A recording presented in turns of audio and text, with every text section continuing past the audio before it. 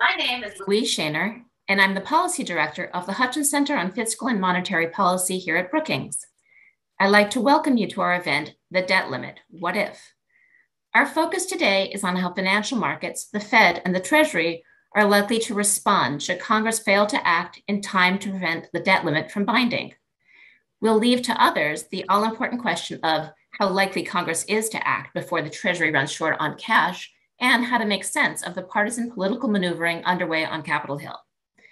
Before we get to our panels, I'd like to talk first about some of the basics. First of all, what is the debt limit? The debt limit is the legal limit on the total amount of federal debt held by the public. Once the debt hits that limit, the Treasury can no longer increase its borrowing. It can, of course, roll over existing debt as that doesn't increase the total amount of debt outstanding, but it can't issue net new debt. The US government hit that limit, $28.4 trillion, on August 1st. However, Treasury has been undertaking a set of what are known as extraordinary measures, basically ways of preserving cash by delaying making certain government investments so that the government can still pay all of its external obligations. But these measures won't be sufficient much longer. The Treasury recently estimated that by October 18th, without an increase or suspension of the debt limit, Treasury won't be able to pay all of its bills. So, what then? Well, that's obviously a very important question. And the true answer is we don't know for sure. It depends on how the situation is managed, how long it lasts, and the extent to which investors alter their views about the safety and liquidities of US Treasuries. How will Treasury deal with the binding debt limit? Another thing we don't know for sure. The Congress has never allowed the situation to get that far. But in 2011, when the debt limit was only lifted at the 11th hour, we know um, from FOMC transcripts released years after the fact that Treasury did have a contingency plan in place. Under that plan, Treasury would continue to pay principal and interest on its securities. That is, it wouldn't default on its debt. Instead, it would cut all other spending, this time, the cut required would probably be 40% or even more. But according to the plan, the spending cuts would be accomplished by delaying payments rather than by giving them a 40% haircut. That is, they wouldn't send out Social Security checks with a 40% cut. They would just delay the checks until they had enough cash to pay them in full. So at the beginning, that might mean up to a few days delay in Social Security benefits and payments to Medicare providers, payments to contractors and federal employees, et cetera. But over time, those delays would mount. So the big questions are, of course, what are the costs of allowing the debt limit to bind? Is this a disaster for the economy or is it just a minor setback? And what does that depend on?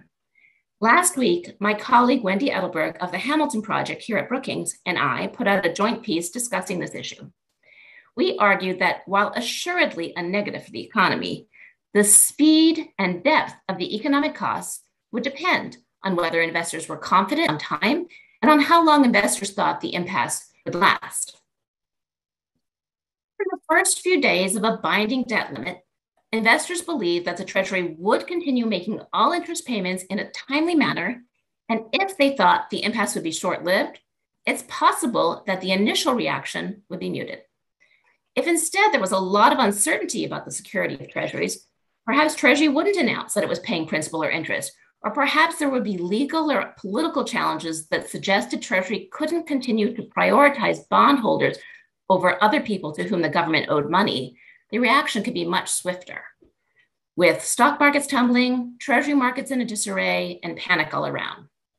Similarly, if investors believed that the impasse was likely to last a long time, then even if it was assured that treasuries were safe, markets could become worried that the large cuts to federal spending even though they would eventually be made up once the debt limit was no longer binding, could derail the recovery and throw the economy back into recession. And then once again, there could be a swift and significant market reaction, even in the early days. Today, the market seems to be just a little worried. Yields are up on Treasury securities maturing near the expected so called X date, the date the debt limit binds, but only by five to seven basis points but it's still early, and there's a huge amount of uncertainty about how financial market reactions will evolve as we get closer, and particularly if we cross that date. That brings us to today's events, where we will discuss the issue of the debt limit from the perspective of financial markets, the Treasury, and the Fed.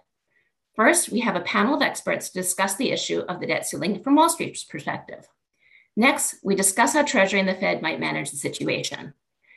Both panels will be moderated jointly by my colleague David Wessel, Director of the Hutchins Center, and Brian Sack, Director of Global Economics at the D.E. Shaw Group.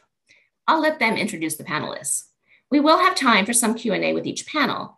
To, to ask a question, you can use Twitter or sli.do at hashtag debt limit or email events at brookings.edu. Again, that's hashtag debt limit at Twitter or sli.do or email events at brookings.edu. Thanks so much for being here, and I'll pass it over to David. Uh, thank you very much, Louise, and thank everybody for joining us. Um, what we are trying to accomplish today is to look over the cliff and see what the abyss looks like. We're going to leave to other people the analysis of what Mitch McConnell really wants or whether the Senate will use reconciliation or or uh, cut a hole in the filibuster. That's those are important topics, but this is not the group you'd assemble for that. We do have a terrific group. As Louise said, I'm joined by Brian Sack, who's director of global economics at D.E. Shaw, and who was uh, for several years the uh, executive vice president of the New York Fed uh, in uh, and and and handled the Fed's purchases of treasuries. And the panel we've assembled is has terrific uh, amount of experience. Alphabetically, we have Jay Barry, who's the managing director, interest rate strategy at JP Morgan. He's been there for 21 years. Richard Chambers, who's the head of short and re- interest rate products at Goldman Sachs. He's been in the markets for 15 years, the last six at Goldman. Uh, Deirdre Dunn is the co head of global rates at Citi. Uh, she spent a couple of decades in the markets, the last 10 at Citi. And for reasons I don't understand, she has a BS in chemical engineering from MIT, which may or may not be useful in today's discussion. And finally, we have Matthew Hornbach, who's the global head of macro strategy at Morgan Stanley, where he's been for 21 years. I should note that all four of these firms are contributors to the work of Brookings, which we appreciate, but they had nothing to do with funding this particular event. So, Deirdre, if I could, I'd like to start with you. Um, so, I wonder if you could just set the scene broadly. We know the X date, the date at which the Treasury doesn't have enough cash to meet its obligations, is approaching. Janet Yellen says it's October 18th or thereabouts. Um, can you, what should we worry about when we think about the market for US Treasuries, the most important uh, financial market in the world, and one which we learned in March 2020 um, has some fragility? What's, what should be worrying about there? Yes, thank you, David, and thanks for having me here to discuss this very important topic. While the broader treasury market continues to function well in recent weeks, we are starting to see some, some signs of stress. It's most apparent at this point in the bills market, where we've seen dislocations of 20 to 25 basis points for issues that are maturing in late October and early November. We're even starting to see slight premiums for bills that mature even ahead of that drop dead October 18th deadline. Volumes have been light and price action a bit choppy. We have seen some better selling in these issues from foreign and domestic real money accounts just to reduce exposure ahead of any incident. Overall, though, I think the market is still focused on the timing of a resolution, more of a when, not an if at this point. We are within two weeks of that October 18th date, so I would expect increasing skittishness skittishness each, each day that goes by without resolution or at a minimum a, a meaningful change in tone from DC. Obviously, a big difference in this episode is that the Democrats can use reconciliation to increase the debt ceiling, while in previous episode, some previous episodes, uh, the House and Senate were split. That said, the process can take up to two weeks, and each day matters.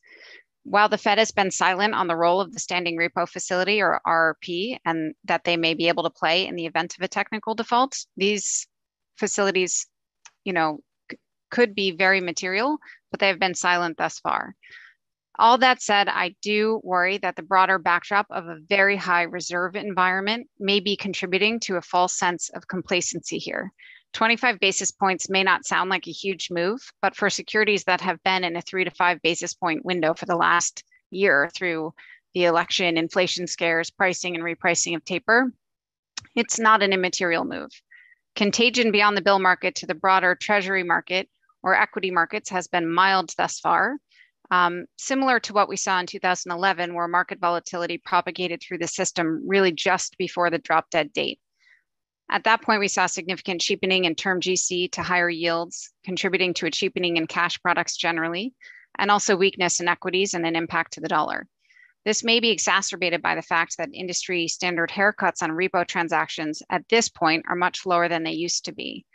So, all of this can obviously bring a full suite of independent concerns um, around market functioning and volatility, pro cyclical margin calls from CCPs, like we saw in the spring of 2020, but with some possible concerns about the future eligibility of US treasuries as collateral, possibly, you know, in a tail event. A dash for cash without treasuries being a cash substitute, you know, I really hope we don't get there this get to that point this time around. So let me unpack that a little bit. So what you're saying is when we look at short-term treasuries, that is treasuries that are likely to that are are due to mature about the time the treasury says I'll run out of money, investors are demanding a little more return because they're worried that they won't get paid on time or get paid back. Well, I'm sure they think they'll get paid back eventually, but they might not get paid back on time. And although 25 basis points is a quarter of a percentage point, that doesn't sound like very much. We're in an environment where other rates are hovering very close to zero, so it's a pretty big thing. Um, so the the repo market is where people lend money to each other over a very short term and they pledge treasuries as collateral. And are you suggesting that maybe some people will be reluctant to take that collateral because they don't know that it's going to actually be as solid as they used to think it is? I think that's possible. Uh, it's also possible that it's true just for certain specific CUSIPs if there were um, something like a technical default in the form of an extended maturity um, you know, I think the downstream processing of that may make people reluctant to try to mm-hmm. manage those operationally. And you referred to CCP. So those are central counterpart, central clearinghouses where um, instead of me and you trading, each of us trades with a clearinghouse. And the clearinghouse is the counterparty to me and to you. Um, and when the price of a security goes down, the clearinghouse wants more margin. They want more of a deposit in case things go bad. And we've seen that that can be a kind of, there's been some friction in that process in the past. And I, I think what you're saying is that if a whole lot of short term treasuries go down in value, that could complicate this process. And it could mean that people who, institutions that are already under stress, might have to come up with even more treasuries in order, or more cash to, to make their positions work. Is that fair? I yes, I, I think that's true. I would also make the important distinction that it doesn't necessarily need to because the be because the price of treasuries change. I think if you know broader risk assets move dramatically and market volatility increases, um, there can be um, an increase in the call of initial margin, which is to protect against the market volatility, is not associated with just an underlying security price. Okay, and finally, and I'm sure we'll talk about this repeatedly during the, the, the afternoon, you mentioned the Fed's repo facility. So that's where the Fed would take a treasury that someone has and give them cash or reserves, right? And you said they've been silent, but what's the option that the Fed has here? What is it that the Fed might do if things get messy? If the Fed um, ensured that uh, maturities with possible um, extended maturities, right? Should we get to that point where if a bill matures and instead of being repaid, it is extended by one day, let's say, if the Fed ensures that those bills are still ed- eligible for many of the heavily used clearing and settlement systems, um, things like FedWire, and they accept it as collateral in exchange for cash, that would go a long way to help, um, you know, sustain the market through that period. Great. Brian? Uh, great. Uh, thanks, uh, Deirdre. Um, I wanted to turn to Rich. Uh, I, th- I, think Deirdre did a great job uh, describing, you know, uh, a lot of the possible pressure points broadly in raising, you know, some of the key issues. Um, I wanted to give Rich a chance to just also weigh in on that broad landscape. And um, I'll note, you know, it seems like a lot of the focus at the moment uh, is on the bill market, and a lot of the concerns uh, you know, that arise about treasury market functioning, kind of start with the bill market and also focus a lot on the repo markets, uh, which David mentioned is a, is a market for helping to fund uh, treasury positions. Um, so I, I, was wondering, is, is that the area where the near-term pressures are going to be most acute? Is it sort of the epicenter here? Uh, hopefully you could comment on that or just on the, the broad landscape as well. Sure. Thank you, Brian, and th uh, thank you for the time today. Um, I think when we look at the upcoming um, um, drop dead date in terms of risk management and looking at what the market is pricing in, there are three scenarios. Um, scenario number one is there's a last minute deal, which is what we're all hoping for. Scenario number two is there's a technical default on a select item of Treasury securities uh, and uh, uh, whereby whereby maturity gets extended day by day, uh, but we fully expect to get the principal paid back. And I think you know we can all agree that even on, in the event of a technical default, you know uh, investors would be made whole on their initial investment. Uh, scenario number three is investors won't be made whole on their initial investment. Um, you know, let's park scenario three because I think we can all agree, you know, that that, that, that won't, you know, we, we should all agree that that will not happen in terms of what scenario the market is, is, is pricing in right now, the market's pricing in scenario one. The market is pricing in a last minute deal. We have a very isolated move in the, in the bill market, uh, as, as Deirdre and Louise quite rightly said, of around six to seven basis points for for anything around uh, for anything uh, past October 18th to to to the middle of November. Interestingly, in the last th- two to three trading sessions, we have seen uh, an increase in um, uh, uh, risk premium in, in, in, later November dates. So the market is, is anticipating um, an extension, potentially a, a, an extension of the drop dead date. Um, the contagion is idiosyncratic to the bill market right now. Um, you know, we have in, in unsecured uh, dollars, uh, in, in, in, Fed funds, for example, we're pricing in a tiny amount of premium of half a basis point. In the repo market itself, in the SOFR derivatives market, we're pricing in very, very little premium. Um, and in offshore dollar funding costs, such as uh, cross currency basis in, in, in, in, in FX swaps, as well as uh, the CP market, there's very little to no premium price. So very idiosyncratic to the bill market, um, uh, such that you know I think the market, I think uh, excess liquidity uh, plays a part in this. Um, you know where the market uh, sees, um, you know. Yeah, and I would expect as we continue to get closer to October 18th, a gradual uh, cheapening and more cheapening of, of, of that sector of the bill market you know, when you look at the total outstanding of, of T-bills between mid-October to mid-November, it's roughly 1.2 trillion. Um, when you look at um, uh, those who may, you know, when you look at the what, let's say, the money fund community hold based on based on August reports, it's roughly 300 billion. And um, you know, against that, we have four trillion at the Fed at IOER. So the market still feels that even in a world where we may see, uh, you know, some liquidation into the drop dead date, uh, and, and increase yield premium in, in, in, in an isolated sector of the bill market. Um, we, we, you know, we think that the market believes, and I believe that the repo market is still in a sound footing and in a sound place based on the amount of excess liquidity we have in the system and the ability for US GSIBs and other banks who are putting money at the Fed at IOER to potentially rotate into the bill market uh, if and so when the opportunity set um, uh, became appealing enough. Um, so, so, so, so that's kind of where we are in terms of market pricing and very front end in markets. Bigger picture when you look at treasury curve and further out the curve and the macro backdrop. Um, you know, we, we've had some shaky moments like last Friday where, where it became top of mind across the you know the global investor base uh, where, where risk sold off but in general risk is you know risk has, hasn't done a lot on, on, on this upcoming event um, as, it looks at bill pricing and it assumes again a, a last minute deal.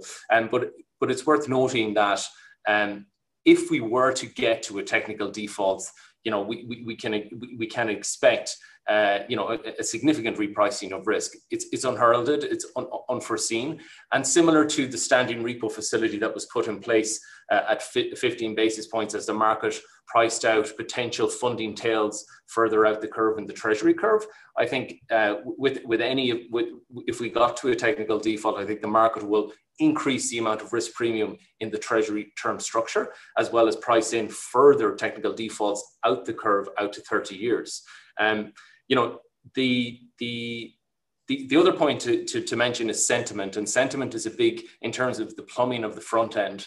Uh, you know, a positive sentiment in, an, in a high excess liquidity environment uh, leads to low, vol- uh, low, low, volatility. Um, you know, if if we if we get to the event where the day before the drop dead date, the the the, the, the Treasury call the Fed. Uh, and and and and and, try, and ex- start to extend um, maturities on, on, on significant um, on, on, on, on, on an array of securities. Um, the Fed will then have to call uh, you know, FICC, BONY, and the, you know, there's been a lot of preparatory work done uh, um, uh, for this. Um, but it's again, it's unforeseen, and these, these these pipes have not been tested. So there, you know, it increases the amount of operational risk in the system, uh, and and and I would expect on a technical default we will see contagion across both onshore and offshore um, uh, cost of funding markets, as well as as well as all risk assets. Um, can I, Brian? Can I? So why don't I, Dave? Why don't I? Um, I mean, just to uh, um, talk through a little bit of what a technical default looks like. I, I, I kind of uh, was unsure when to do this, but I think it's helpful. Rich, Rich said a lot of this, but just to be clear uh, for everyone, um, if Treasury gets to a point where it believes it cannot make um, payments on the debt for the next day, it has to decide the night before uh, for this to happen. Uh, there, uh, an operational plan has been discussed under which uh, the, the maturity date for the securities coming due the next day in Fedwire would actually be extended a day. Why is that? Well, that is because Fedwire system, once we hit the maturity date, this, the security disappears. So if there were not an extension of the maturity date on the Fed system, on Fedwire, uh, the securities would suddenly not become transferable anymore. They couldn't be traded, uh, risk couldn't be moved around. Um, so essentially the way around that is to extend the maturity dates um, so that you know no payments are going out but this, the, the securities can stay on the systems and still be used in trading and in, in fed operations and so on. Um, as rich said though that's a very well first of all it's a very delicate procedure. Uh, it requires a judgment the night before that that's going to happen and it, it, requires obviously the actions to take place on fedwire. Uh, but as rich said there's there's a, a number of systems, of course, you know, tied to this. Uh, you know, there's uh, um, FICC, which is uh, uh the CCP for dealers. It, it's all the dealer systems themselves. There's the clearing banks, uh, uh, you know, who custody the Treasury securities. Um, there's a all the dealers themselves have their own systems that are tied to this. So there's a wide set of private sector systems that would have to adjust likewise. And I think some of the operational risks uh, that Rich is mentioning have to do with whether that all collectively works, you know, smoothly in a process that we've we've you know obviously never never done. Um, so it's a little bit like I'm, I'm just trying to come up with the right metaphor. I'm not sure what it is, but it's a little bit like you have this big skyscraper and it has all sorts of fire prevention things in it and the local fire department has got hook and ladders that can go up at least halfway up, and they have plans. But no one really knows for sure if there's a fire in this in this skyscraper whether everything will work as it's supposed to because we've never had a big fire in this fire uh, in this big skyscraper. So we're kind of like that. People, I think what you're saying, Brian, is people have been thinking about this, but they haven't had occasion, thank the Lord, to try it and we can't be sure that everything will work quite as smoothly as they hope. Is that fair? Yeah, I think that's fair. And and and the one of the issues is you have a lot of systems across in different locations, across different players in the market that are critical to that market infrastructure that, that have to to work together under a procedure that itself uh, entails a lot of uncertainty. Um, right. Now, yeah, if, if I, I, if, I wanna... to, if I had to add if I had to add on that, you know, if you look at the June 2013 minutes, you know, you, you have to fully expect transferability of these securities and uh, the extension um, part, part of the securities. Um, if you assume the operational side will be sound, I think I think the key, just to go back to market pricing again, is that, uh, and, and Deirdre pointed out, is that you will have idiosyncratic um, um, requests from from from the investor base, whereby you know you may see you know higher haircuts on treasuries uh, that get posted to to exchanges. You may see individual bilateral CSAs refusing refusing certain parts of treasury. So the functioning and overall plumbing of the market will still um, will still get disrupted, even if even if we have full transferability of, of these securities, which which clearly will help. And uh, on top of that, the market when you look at when you look at a scenario, if we had a technical default for three days or even to five days, that means that there is, you know, in, you know, one would expect zero zero interest return on, on those treasury securities for that period of time, which by definition the market will will price in a higher term structure uh, for, for treasuries and increase general borrowing costs for, for, for the treasury going forward. So Jay, let me turn to you and uh, let me, there's, I'm interested in two things. One is, or three actually. So uh, Richard Chambers made two points. One is he referred to the IOER, that's the interest on excess reserves. The banks have a lot of reserves at the Fed. They have deposited a lot of cash at the Fed. And Richard was suggesting that that gives the Fed some, that gives the banks some ability if there's a problem in the treasury market. They have a lot of cash, which is not the way we were before. Secondly, he said that um, this could propagate through the yield curve. In other words, the Treasury could end up tre- yields on Treasuries, and presumably then what the U.S. Treasury has to pay on its borrowing as it auctions more debt would go up. That it would have cascade through the thing. So this isn't just a um, a momentary glitch. It could have long-lasting things. And third, and I think importantly, he talked about sentiment, and I think that's a little bit of way of saying like uh, you never quite know what's going to happen when something unprecedented happens, particularly when it's something that people in the markets, and indeed people like me, assume that Congress will never take us there. But we have to entertain the possibility they won't. So I wondered if you could talk about one or more of those things. And then, secondly, um, if you're hearing it all from your clients about this, are people around the world beginning to worry about this? Are they paying attention? Um, sure. Thanks, David, and thanks for having me today. So I think, you know, on your first question in the discussion of reserves, you know, it's the abundance of reserves and liquidity in the system right now that has, I think, helped prevent this from becoming a, a bigger episode thus far, um, because the Fed's balance sheet having grown so significantly with rates floored at zero um, has created that precondition. But when you talk about the IOER um, and the expected funds rate going forward, I think it stands out. There's already been this discussion of what's happened in the bill market, that those bills trading in the late part of October to the early part of November are, are trading above the expected funds rate, the expected IOER rate over that period. And in the context of such abundant liquidity, I think that stands out as a source of concern. You know, now where that is, I mean, we've been through five of these episodes over the past decade. And with maybe at one extreme end of the example, there's 2011 and 2013, but on the other, there's 2019, that we're probably somewhere in the middle, that the moves in the bills market have been relatively small in the context of, say, the 50 to 60 basis point cheapening we saw in short-term bill is in 2013, but granted, much more than we've seen in either of the last two episodes. That it's been pretty muted thus far, but that as you get closer to the you know expected drop dead date, that you'd see a bigger reaction there. And I think related to your third question about what we're hearing from investors and, and what they're asking about, I mean, it's one of the, the main topics that we're attempting to address in the Treasury market right now um, you know, one, when does the potential technical default date hit? And two, all the sort of procedural and operational discussions that have been talked about. But I think it's some of the investors' actions that have gotten us here thus far.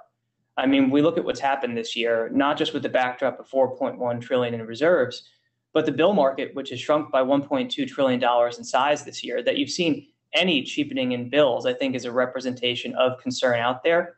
Um, and I think it's short and specific investors like money market funds who, while the risk of a technical default may be relatively low, um, or the probability is relatively low, the risk of it occurring is much larger for their portfolios, and they're taking active steps in order to mitigate this risk. And I think this is what a number of market participants are doing right now, taking active steps because they think the risk is low, but they need to be prepared in case it happens.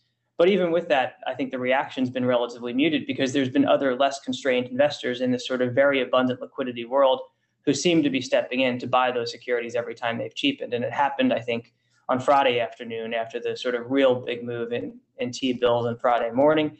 And it happened once again yesterday. So I think you know, it's it's everything that we're being asked about right now, um, and I think there is active planning going on from the investor community, which is why we've had this back and forth at the short end of the curve. But the risks seem moderate. We're maybe at a five relative to sort of where we were at a 10 in 2011 and 13, because to your point, we haven't seen it propagate out the yield curve. I mean, in 2011, perversely enough, long-term yields declined after S&P downgraded the U.S. because of this very large risk aversion and flight to quality that occurred. Um, and, and, we haven't seen any sort of um, evidence of that this far in the Treasury market because yields have been rising in, in, recent days amid higher inflation expectations. But I'd expect that the closer we get to the potential X date, whether it's October 18th or slightly beyond that, that you'd start to see this seep into the long, seep into the long end of the curve, and not just in outright yields, but in spreads and in how Treasuries trade relative to off-balance sheet derivatives as well. Because some of the work that we've done suggests that um, you know every rating downgrade notch from a specific rating agency can cheapen you know sovereigns um, by about 10 basis points relative to the sort of off balance sheet derivatives with the same sort of maturity um, and we haven't seen that happen as of yet. So two questions. One is when you say we're a five on a 10 point scale is that because people in the markets think probably congress will work it out? Or is that because they think ah, this isn't going to be such a big deal even if we go over the edge? I think it's more the former than the latter. I mean, we've been through enough of these episodes over the last decade that there's an expectation that ultimately Congress will find a way to reach an agreement, but that the level of that concern will grow the closer we get to October 18th and beyond. And what do you think the possibility is that there's contagion beyond the treasury market, like the mortgage backs or other securities? Other markets? Yeah, I think, you know, as we see broader sources of concern you'd expect to see underperformance across risk assets. And I, you know, I think right, so we've seen that performance across risk assets. That means the price of stocks and bonds go down, right? I, I think of riskier bonds go down. Again, I think it's very possible that you know treasuries might actually um, rally and richen relative to say mortgage and credit product because even in the example of an extreme example of a technical default with a downgrade it's likely to mean a flight to safety but um, but yes, sort of weakness in those other assets. I see. So the, ironically, when the U.S. government screwed up and people get panicky, they tend to sometimes buy U.S. Treasury bonds, the longer term ones, even though it's the U.S. is the cause of the disturbance. Right. Uh, you know, I think that's right, and I yep. Yeah, I think um, that's um, and it's important to uh, you know uh, note that that's what happened before.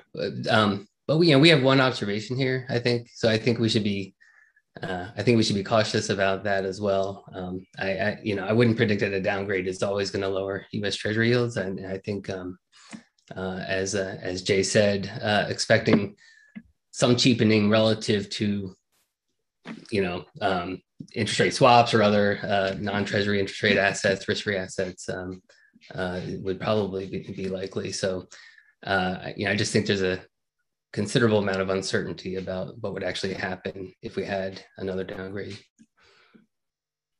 So you want to turn to Matt, right? Uh, sure, yeah. Um, so, uh, you know, we've talked a lot about, uh, you know, uh, the broad set of pressures that could emerge uh, in market dynamics. Uh, people have mentioned the, you know, 2011 and 2013 episodes in that discussion, but I thought it'd be useful to ask you just you know more explicitly to to focus on that and think about or comment on how this situation differs from what we faced in 2011 and 2013 are there similarities? Are there differences um, uh, that would make this better or worse? You know what, what what should we keep in mind in making that comparison? Yeah great. Th- thanks brian. So i think the main differences to highlight really have to do with the plumbing of the front end and the different facilities that the Fed has put into place since 2011 and 2013. Um, in 2013, just before the that debt ceiling episode, the Fed created the reverse repo facility, which has grown substantially over the last few months, uh, having breached around 1.6 trillion on a quarter end a couple days ago. So that is certainly a, a big difference. Um, and, and this is this liquidity dynamic is something that Jay alluded to earlier.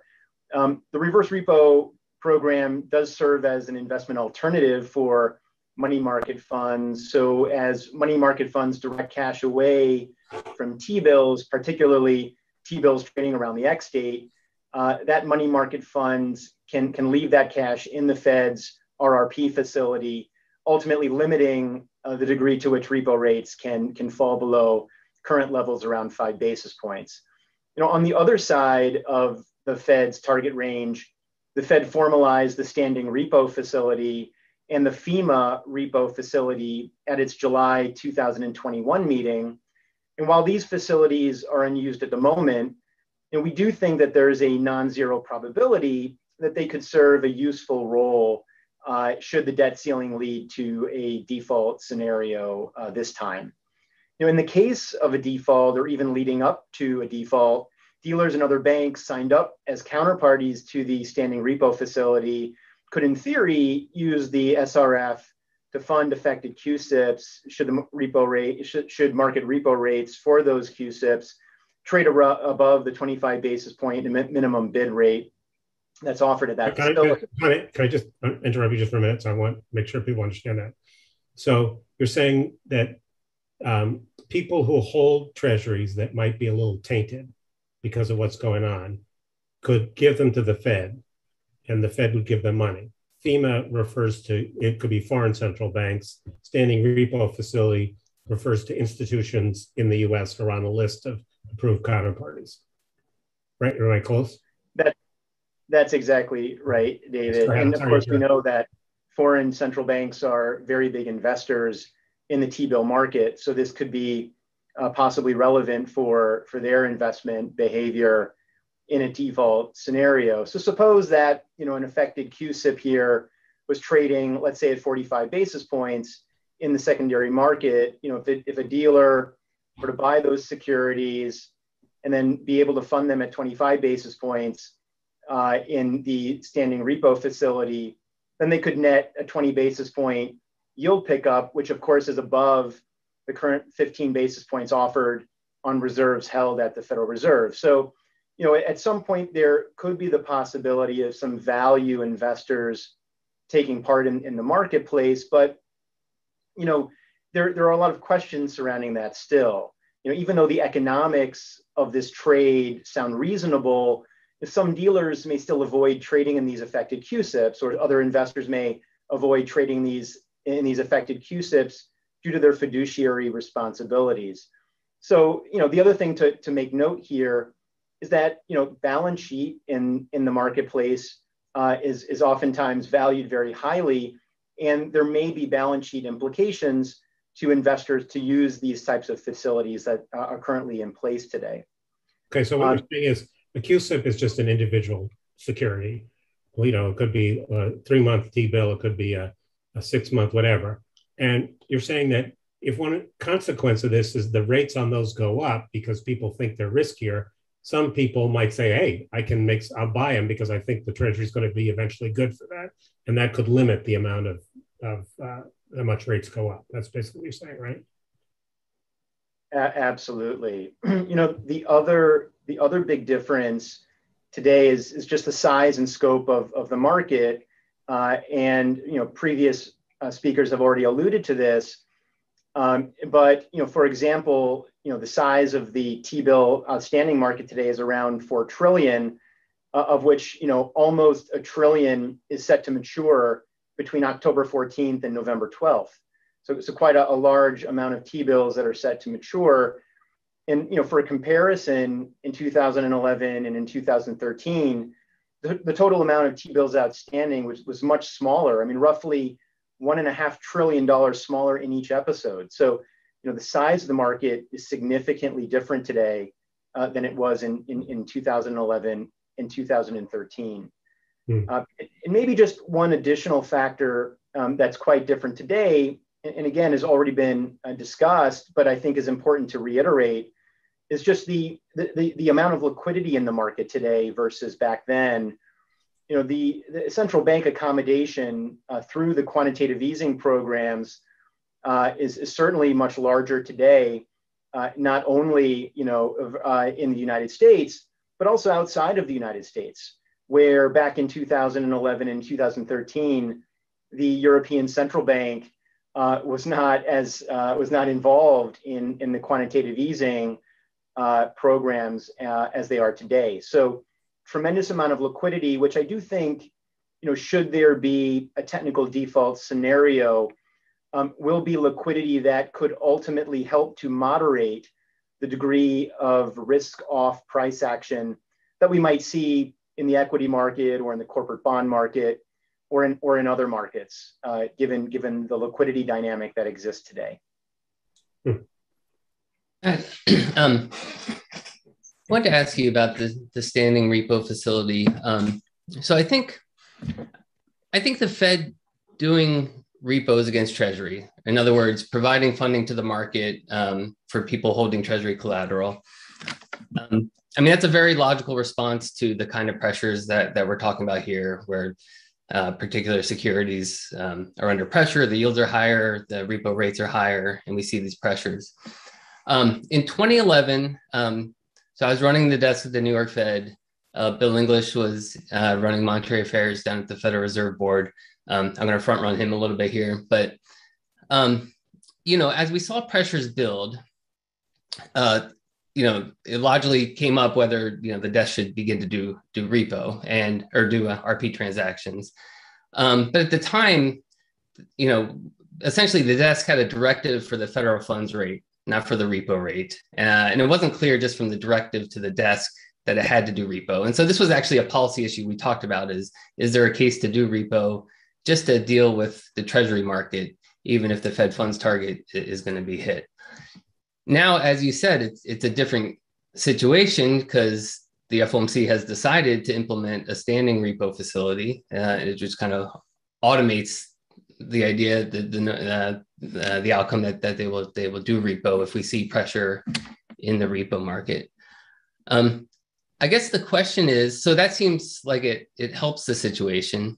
I think the question is uh, is it enough? Um, and you mentioned balance sheet, which uh, I think you were alluding to this, but if the set of counterparties for those transactions is you know a, a, a finite set of dealers who then have to like intermediate and, and um, provide that credit to the market. Um, how big of a constraint is that? Is, you know, I, I, think.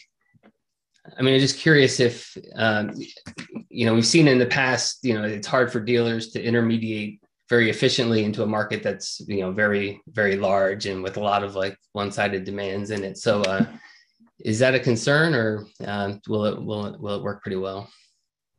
Well, I, I, uh, Brian, I think it, it's definitely a, concern, and you're right to raise that issue. And I think ultimately it comes down to how the regulators of, of the banks end up dealing with balance sheets that may be bloated temporarily as a result of, of this type of intermediation.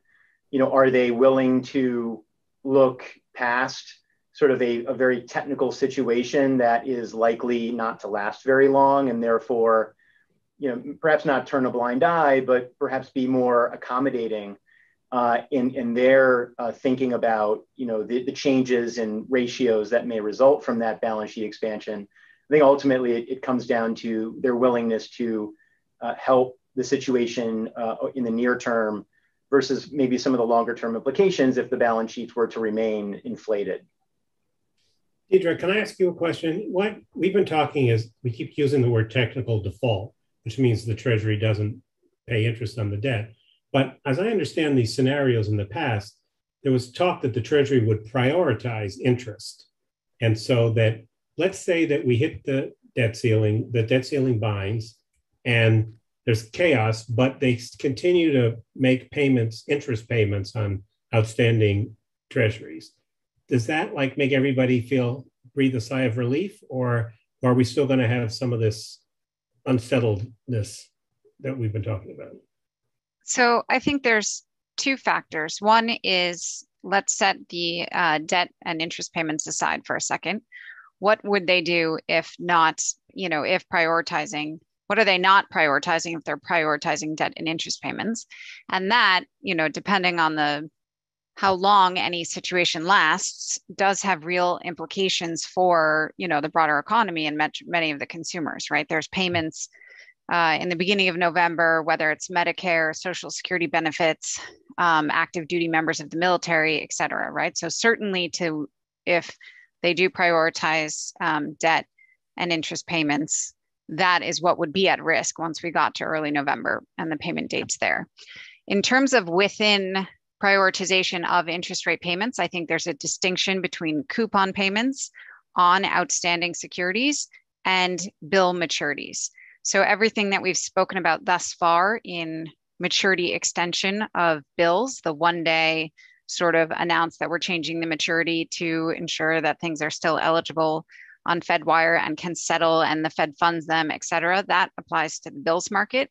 I think um, missing a coupon payment on an outstanding bond, so not, not the principal repayment, but just a coupon payment, um, likely brings different considerations around how to value that security. I mean, the valuing of the securities matters in an extended maturity as well, but I think it's a bit more complex in a, um, you know, in a 10-year bond that is now missing a coupon payment for a period of time, you know, and perhaps trades more electronically and so on and so forth. So I think. Um, that's an important distinction to make. So the bills, if you own a treasury bill, a short-term security, you don't get an interest check like you would on a certificate of deposit. You just get your money back when it matures with some extra money to cover the interest. So what, what you're talking about there is the difference between a T-bill where that happens as opposed to buying a 10-year bond where every quarter or month or whatever they send an interest check out. Yes. So in in either case, I think uh, I think it's most likely that they prioritize coupon payments and roll bill maturities because I think it's operationally easier. Um, so in either case, maturity though, means that I have a 90 day treasury bill that matures on on November 20th, and they say, guess what? Now now it matures on November 21st, and maybe it'll be November 22nd. We're going to take it a day at a time. Yes, on the evening of the 20, you know, at some point on the day before the 19th, so that it can still be eligible. And FICC, as Brian said, they announce a one day delay. I think the timing of that announcement is critical because a Treasury would need to give, you know, all of the various um, uh, companies that have systems that depend and connect to FICC time to uh, adapt as well. Yeah, I, th- I, think what's likely to happen is all debt payments get delayed, and um, and if it's a principal payment, the maturity has to be rolled back. If it's a coupon payment, there's no rolling back the maturity, but that coupon does not go out. But the fact that we're talking about like whether coupons get paid and principal doesn't or vice versa. I mean, this just highlights the uncertainty that we have in this environment, uh, I would say. Yeah, I, I would agree. I, in, term, in terms of the guidance so far that we've been working with, um, it's, it's all or nothing coupons plus principal. Um, if, if, if not all, if all of them can't be paid, I think there will be just an extension on, on, on maturing securities. I think in terms of prioritization, um, it's really it's really it's it's the other stuff. It's social security. It's it's it's it's it's it's um, Medicare, etc. That that that really is an unknown for us, and it's a different payment methodology. Techni- technically, you know, it's still an unknown. Can it actually be done? Um, and I think um, so. So I think in terms of uh, in terms of you know, in, from a treasury market standpoint, um, we you know, I would I would expect um, I would expect uh, yeah, I would expect coupons and, and, and I would I would expect coupons and principal to, to be all or none. Um, in terms of valuations, you know, you know, we've talked to, you know, when you look at the valuation methodology on technically defaulted securities, um, there's no perfect system. You know, um, you know, the advice is, you know, there are there are there are vendors uh, that that supply different clearing exchanges as well as as well as obviously um, as as well as uh, as well as uh, what uh, you know what margin dealers what what margin departments of, of big large US dealers uh, depend on. Um, in theory, on a on a defaulted security, um, it's minus you know it, it, should be easy. It's discounted by the by the by the by the funds rate if there's no uh, free and available price. But as, as Deirdre said, uh, for missed coupons, it gets a little bit trickier um, in terms of you know seeing a transparent price on on missed coupons. Um, so I got a number of people in the audience who want to know if any of you take this trillion dollar coin thing, which Janet Yellen called a gimmick and rolled out today, seriously. I don't want everybody to speak. Does anybody have a view on the trillion dollar coin that they'd like to share? This is the idea that the Treasury could somehow mint a trillion dollar coin, give it to the Fed, and the Fed would give them a trillion dollars. So, Jay, should You're I asking who would like to disagree with Janet Yellen? uh, I, for one, will not disagree with the Treasury Secretary in this regard. And I, I think it goes down a very slippery slope, um, even discussing the trillion dollar coin, right? Because I think it puts the, the independence of, of the Federal Reserve at risk and it more could potentially more closely align the Treasury Department and the Fed.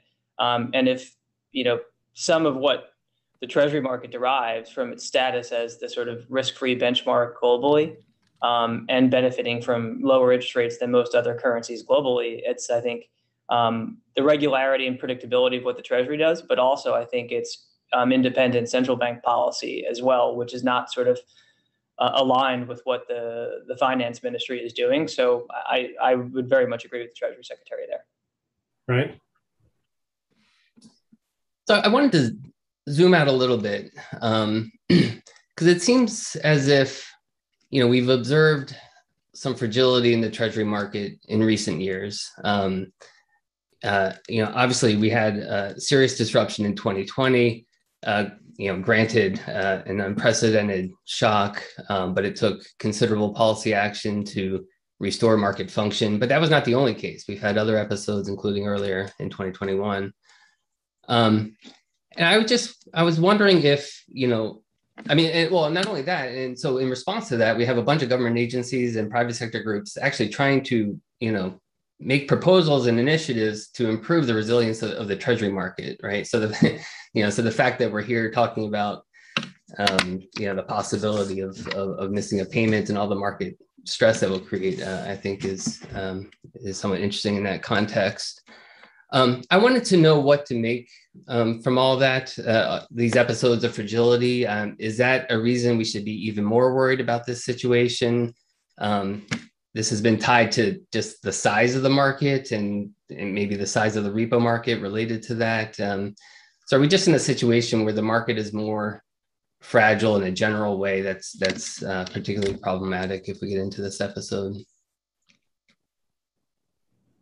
I mean, Brian, maybe, maybe I can offer you just a, a, comment about the importance of, of confidence in, in not only market structure, but in also the government's willingness to make good on its debts. And that this is uh, this this concept of confidence plays a part not only in some of the technical issues that exist in the treasury market that have come to bear in terms of volatility over over recent years, but but also plays a larger role in how the economy evolves and how the effectiveness of monetary policy to, to guide the economy towards the Fed's goals.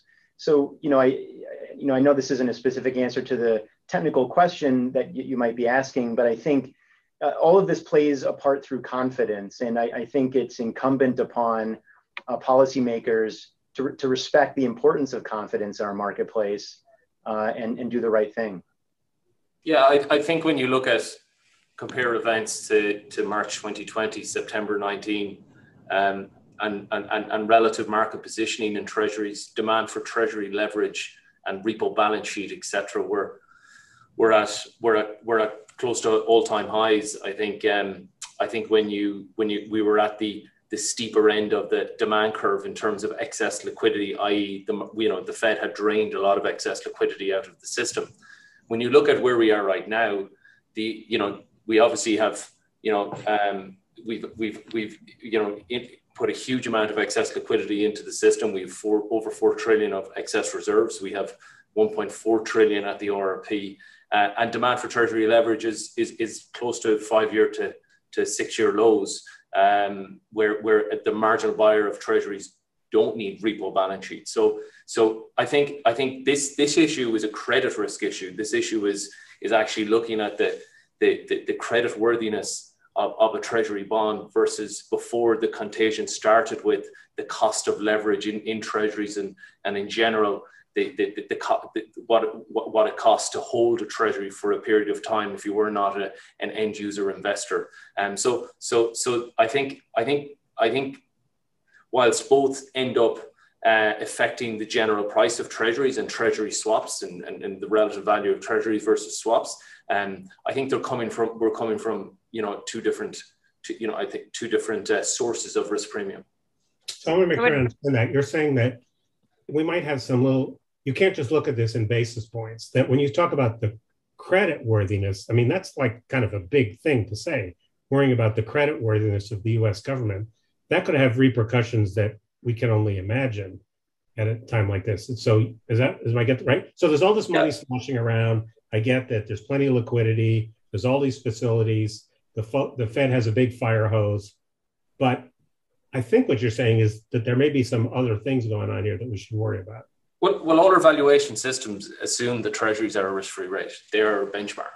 Right. Um, if you're buying a one-month treasury and you don't get your principal back a month later, but you get it back a month plus seven days later at zero rates for that seven days, one has to reevaluate right. their models. So, it, you know, I, I think that's the worry on a technical default.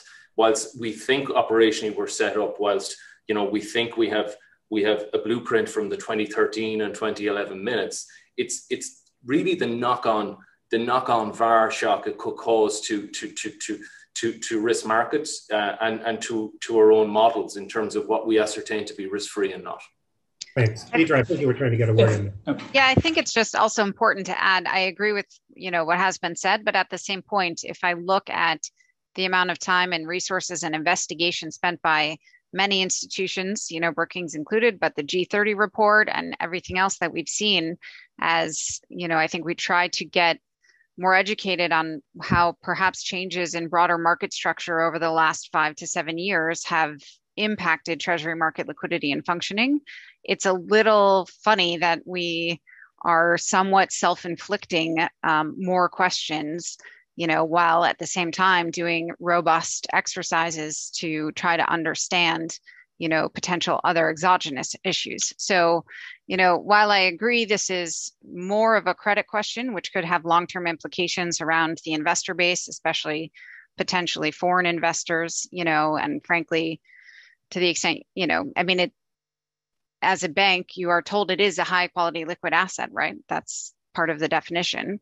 Um, but I, I do think there is a bit of irony, if you will, in the fact that we are spending so much time and resources collectively, you know, Treasury and many agencies and many market participants on trying to understand the market while, you know, introducing this new risk that didn't need to be here. Right. Brian, we have time for another Brian Sack question. So make it a good one. um, so right, so we've had a lot of focus on um, the potential for near-term disruption, uh, which you know could be chaotic, could um, uh, affect financial conditions, the economic outlook sharply, uh, and then there's also the question which um, just came up, which is over time, what does it mean for Treasury demand? Um, right. So we are, uh, you know, we're at a point where debt, the debt to GDP ratio has gone up dramatically. It's going to continue uh, to go up for some time. Uh, you know, we are issuing a lot of debt. We have a lot of debt. There's a lot more debt coming. You know, if Treasuries cheapen, you know, 20 basis points relative to swaps, um, you know, that's $50 billion of additional interest costs per year once we get out to say 10 years from now. So, so I guess the question is, you know, in this environment with increasing treasury issuance, um, you know, I mean, how worrisome if we create these events and this uncertainty, you know, how worrisome is this for, you know, end demand for treasury securities? Uh, there's been a lot of focus on foreign investors. I, I want to know if that's like the right place to focus, or is this just a broader question about whether uh, treasury demand for treasury securities could suffer and the treasury could end up having to fund itself on, on, on much less favorable terms? Uh, if I can step in maybe and answer that, I think you know it's the focus has been on foreign investors, and I think you know we see that the foreign share of Treasury ownerships declined pretty sharply from its peak about a decade ago, um, and I think it's been uh, domestic investors that have been able to to step in and sort of fill that demand gap, whether it's commercial banks or mutual funds or, or LDI investors.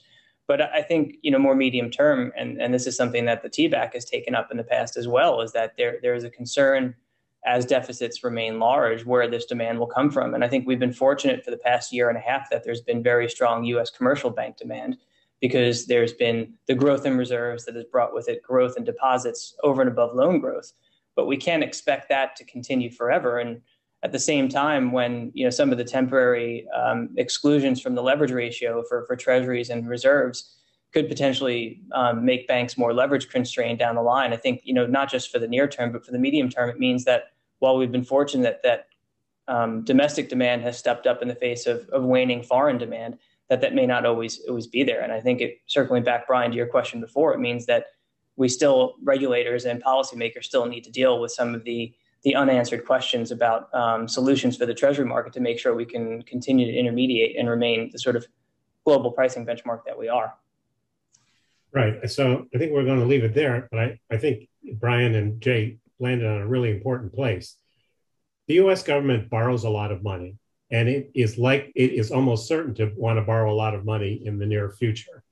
So to do something that would make potential investors in US Treasury debt a little nervous seems like a rather um, foolish thing to do. And Brian put a number on it like this could be in the order of $50 billion a year in extra interest payments. So I think that I want to, um, I just, I don't want people to think that because we think we have some, the, the fire department has a lot of hoses and they might be able to put out the fire, that would be a good idea to have the fire in the first place. Because I'm sure that nobody on this panel thinks that that's a good idea. So with that, let me thank uh, uh, Richard, Jay, Deirdre, and Matthew, and they're going to leave the scene, and uh, Bill English and uh, Phil Wallach will come on with Brian and me um, while, we, while we're changing the set here. Uh, Bill English is now a professor in the practice of finance at the Yale School of Management, um, but he was at the Federal Reserve for uh, 25 years, and from 2010 to 2015, he was a director of monetary affairs at the Fed. That was a key point at which we've done the stress tests on debt ceiling uh, stalemate before. Uh, Phil Wallach, uh, political scientist, is a senior fellow at the American Enterprise Institute now. He was previously, once upon a time, at Brookings, um, and he's written over time about what the um, Treasury options are. So, uh, um, Brian, if it's all right with you, let's start with Bill English. And Bill, so uh, take us back. You have some experience in this what options does the Fed have if we wake up on October 18th and Janet Yellen announces, I don't have enough cash to pay all the bills? So, so the first thing that you, you have to do, I think, is see what she says next, uh, because this issue of prioritization is going to be really important.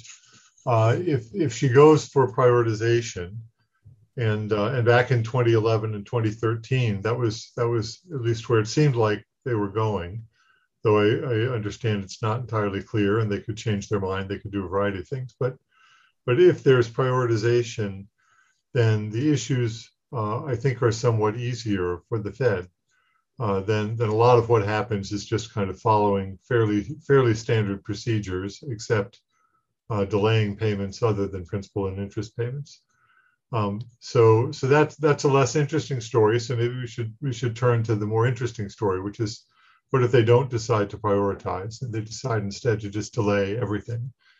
Uh, and so we get technical defaults on on Treasury securities, and uh, and and then uh, what what we thought uh, back back in 2011 and 2013, and Brian and I did much of this work together actually, uh, is that there there are you know, there are escalation options for for the Fed. Uh, there are things that would be fairly natural to do. There are things that are kind of in the middle, and then there are things that would be pretty extreme. And uh, and the question is is where are the policymakers going to going to be comfortable, and where will they draw the line? So so in terms of things that are uh, fairly straightforward, they're they're kind of things that are already within the current authorizations, uh, and so you know the the Fed's in the middle of a, of a purchase program. It would keep purchasing. Um, there, it's it's rolling over existing holdings. It would keep doing that. Uh, it can keep do, doing securities lending operations, which could be a helpful way of of taking temporarily uh, taking potentially defaulted uh, securities and providing not defaulted securities. Uh, there are repo operations that, that the desk could do uh, in the first instance, just to keep the funds rate in the target range. But, but as, as was discussed a little while ago, um, those operations now, in some sense, are, are automatic. There, there's an RRP program. There's an RRP program. It's in place. It's set up. Uh, so those those would help. Um, there's discount window lending that, that could be done, and uh, and the Fed could move its administered rates conceivably uh, if if it was having trouble keeping keeping the fund rate in the target range. Um, I think the key question for these sorts of, of policies would be what, what, at what price do you handle the defaulted securities and, and how do you handle them in terms of haircuts and, and so forth? And, uh, and I think uh, at, least, at least our view then was uh, you, you, use prices as determined by the market. Uh, the market's probably going to mark down uh, securities that are that are in technical default or might be at risk of, of being in technical default. And uh, but you apply the usual haircuts. These, these aren't actually riskier securities. These are securities that that are temporarily messed up because of a political morass, but but in the end, that'll get sorted out, and uh, and the Treasury will pay. So that was that was kind of the first set of actions. Uh, then there were kind of intermediate level actions which involved kind of more heavy-handed operations in the repo market. Again, with the with the standing RRP and, and RP facilities, I think that that in some sense is already there. I guess conceivably you could have to increase the size of the of the RP program if there was if there was huge demand. Uh, and we also get into the issues that, that Brian raised earlier when he was front running me uh, about uh, you know do do we have the balance sheet capacity, the intermediation capacity in the broker dealer firms uh, to uh, to to take what the Fed is doing and kind of transfer that to to the other market participants. Do you think they can taper in November second and third if this thing is still a live issue then? I mean, they, they could, they have the technical ability to do so, but but given the uncertainty that this would create, if we get to early November and this is still an issue with the debt limit still not raised, um, I think the as people were saying before, there there get to be really potentially very substantial effects on household and business confidence, very substantial effects on on spending, uh, and, and, so the outlook for the economy would look very different if we got to early November and uh, and and the debt limit still hadn't been raised. So so I suspect they wouldn't choose to begin tapering, not because it was technically somehow impossible, but but because it wouldn't seem right given given the change to the, the economic and uh, financial situation. Um, just to so finish, talk about a set of operations. Oh, yeah, I was going to ask you. I was you talked about the last couple of escalation options. Is that okay, that yeah. where you want to go? Sure. Yeah, so, so, so, so the bottom of our list was uh, the, the Fed could just go out and do large outright purchases of defaulted treasuries. It, could say, you know, we are open to buy defaulted treasuries uh, or, you know, buy, buy treasuries in general, but in very large volume and, and expect that you'd get a lot of defaulted treasuries coming to you. Uh, or do CUSIP swaps, which is which amounts to something quite similar, where where you would be taking a defaulted treasury and giving the giving the counterparty a not defaulted treasury as uh, uh, on the other side of the swap. And, and so th- those would, would be potentially very helpful if, if markets were really in, you know, operating badly because of the uh, technical defaults. On the other hand, uh, as was said earlier about the coin, I, I think uh, this this would be seen as taking sides in a in a political fight, where the Fed really doesn't want to be seen taking sides because it, it really would call into question, I think, uh, the Fed's the Fed's independence over time. But but in a desperate circumstance, those those are things that you could do. Yeah, I think it it, it caused some FOMC members great stress just to read a memo with those options. yes, I, I mean. Uh, they weren't swimming up to it, but but remember, by the time they, they got to those meetings, the the issues had been solved, and, and it was it was a lot easier to say no, never, uh, in that circumstance yeah. and it might have been if they'd actually been been looking as as as david said earlier into the abyss Yeah, that, that's right. But I, I, I say that to, I, I did want to make a point that even if the Fed could do extreme things to solve the situation uh, or, or to, you know, serious, significantly help the situation, I mean, there are limits to its, its willingness to step in, I think, into this kind of situation. That, that's right.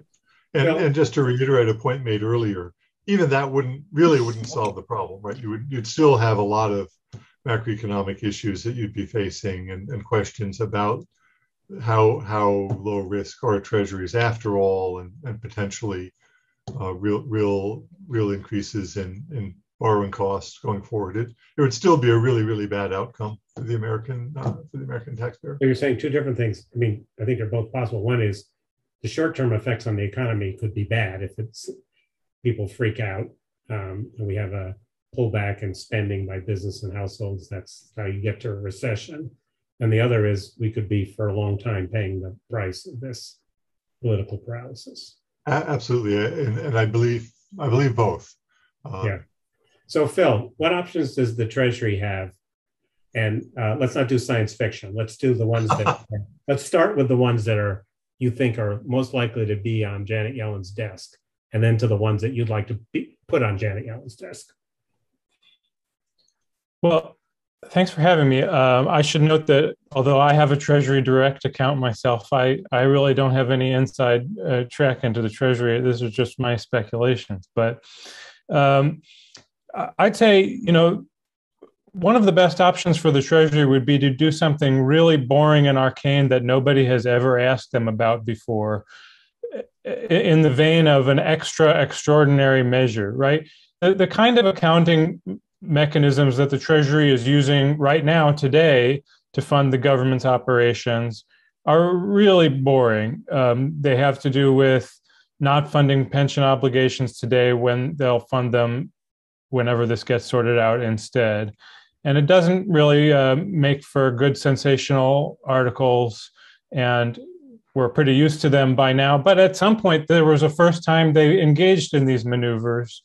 And i would like to think that the treasury might have some new extraordinary measures that they might resort to uh, to, to buy themselves a little extra time. Janet yellen's letter to congress is a is really a masterpiece of ambiguity. She, she says that October 18th is the date after which we become kind of uncertain about what's going to happen.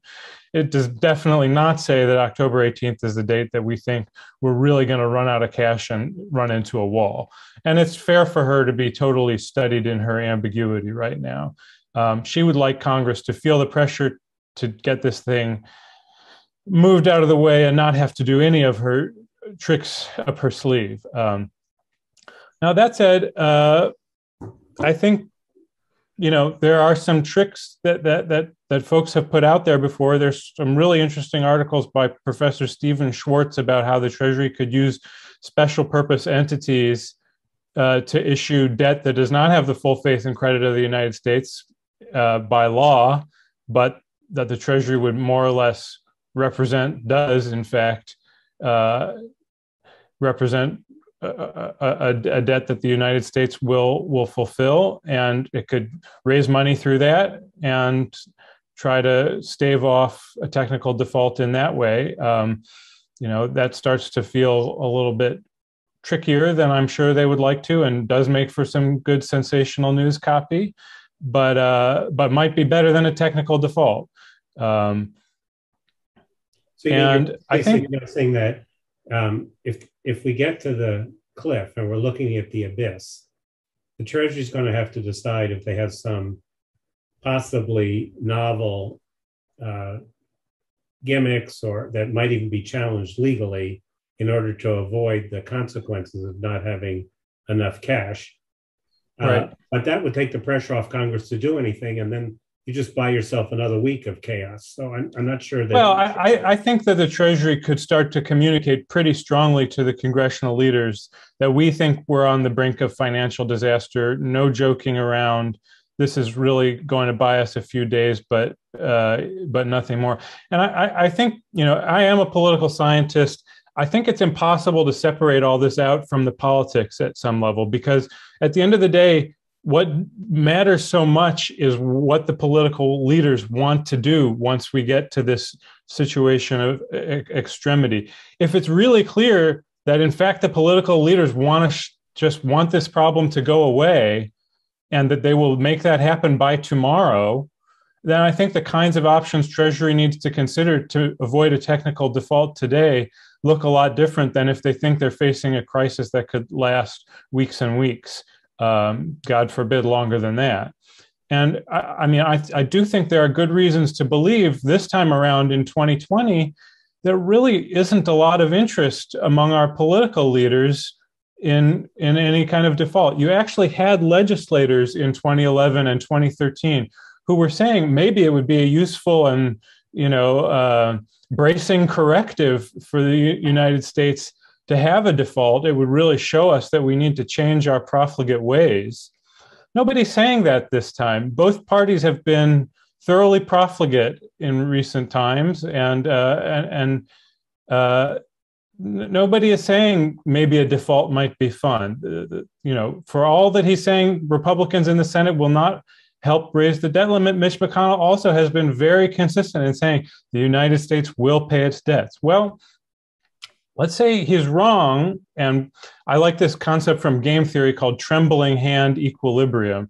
It's the idea that even if the correct strategies say you should never end up in some place on the game tree well maybe you might end up there anyway when somebody screws up. So that's the kind of thinking we need to have. And if we end up in this really terrible situation uh, i think then the next phrase is we still say we'll never default, even if we're on the brink of technical default. Even if it's happening, we should say we'll never default uh, and, and, make this thing go away as quickly and quietly as we can. Aren't there likely to be lawsuits if the Treasury pays interest in, on the debt and doesn't make payments to federal employees, contractors, right. Social Security people? Aren't we just, isn't this going to end up in lawsuits if somebody doesn't get it? Well, everything ends up in lawsuits in the United States, so that's a good bet. But um, I, I think it's important to say there are no good or perfectly clear legal options for the Treasury if it comes to this situation. Uh, prioritization is not the law. Republicans tried to pass it into law, and Democrats said, no, we don't want that.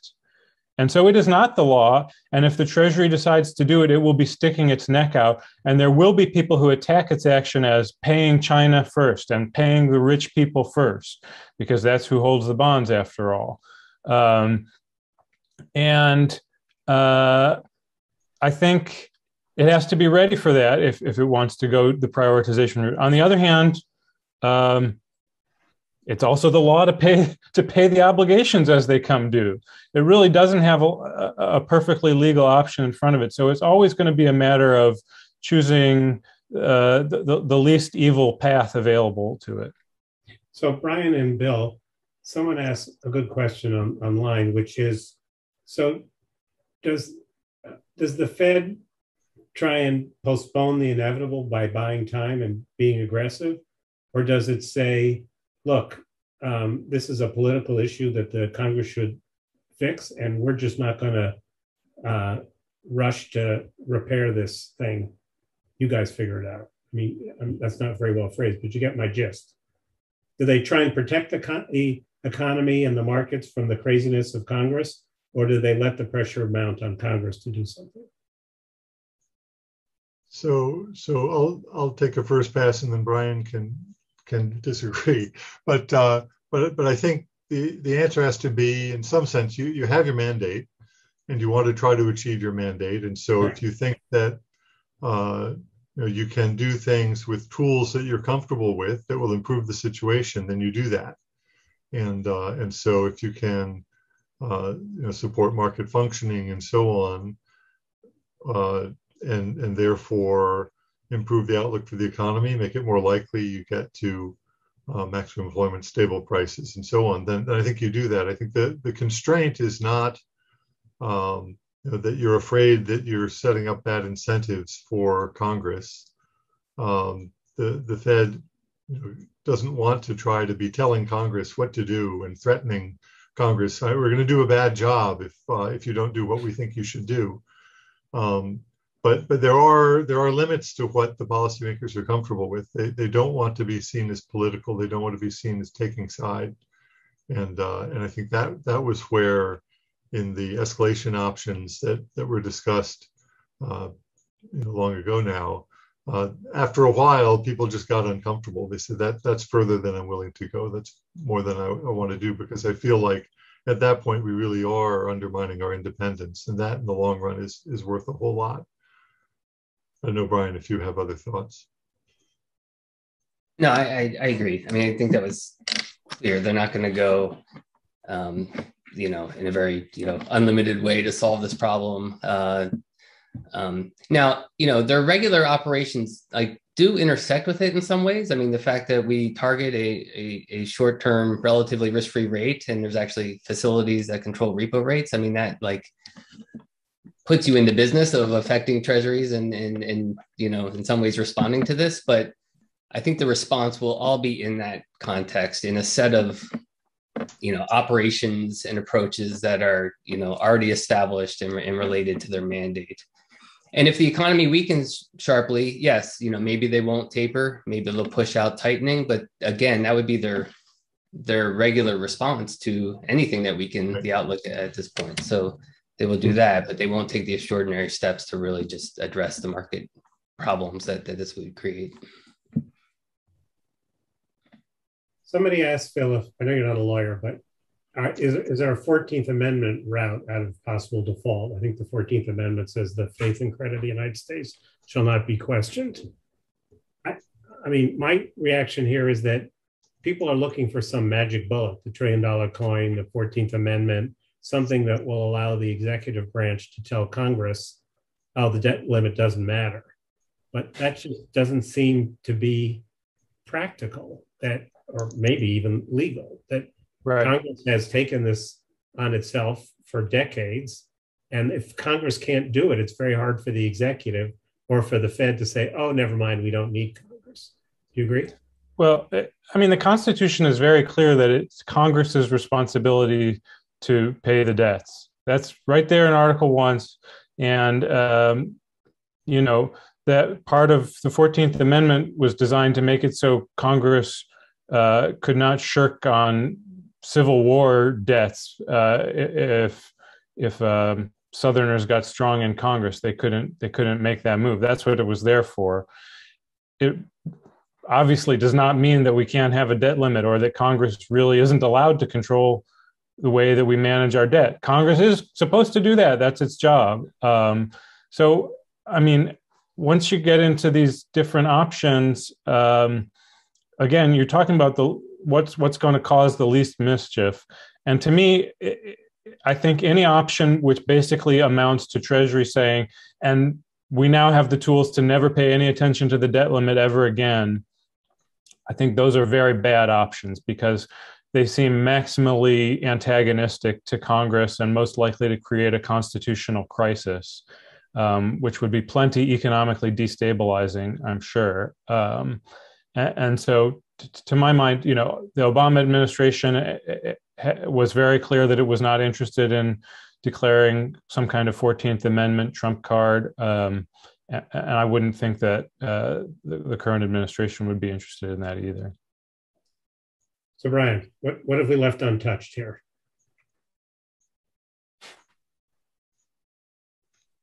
Um,